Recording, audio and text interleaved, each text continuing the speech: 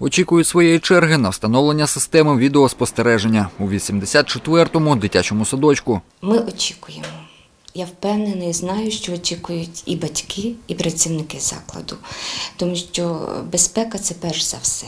І це допоможе нам і відслідковувати, що відбувається як на території закладу, так і в приміщенні, а також оперативно реагувати на все, що відбувається в межах закладу. Провулок Парусний 3, периметр розташованого тут Миколаївського класичного ліцею, проглядається системою відеоспостереження з усіх боків.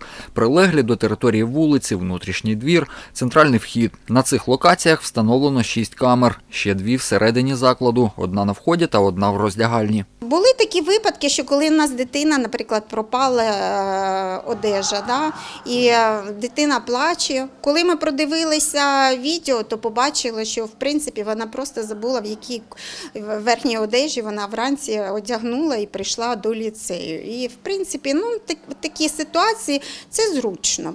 Зображення виводиться на пост чергового, який за необхідності може збільшувати зображення та перемикати потрібні ракурси. Вдень тут чергує Ганна Беренда. Ось я дивлюсь на камери.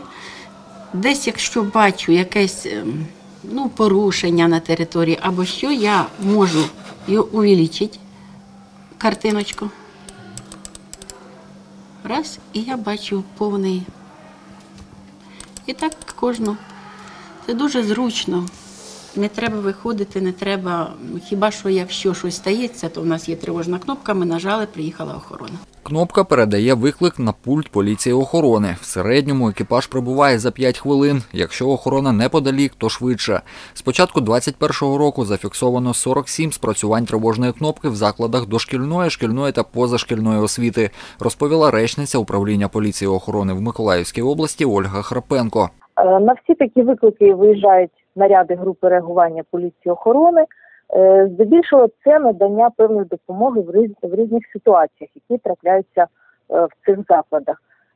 Це або вторгнення на територію невідомих осіб невстановлених, або бешкетування дітей, якісь конфліктні ситуації.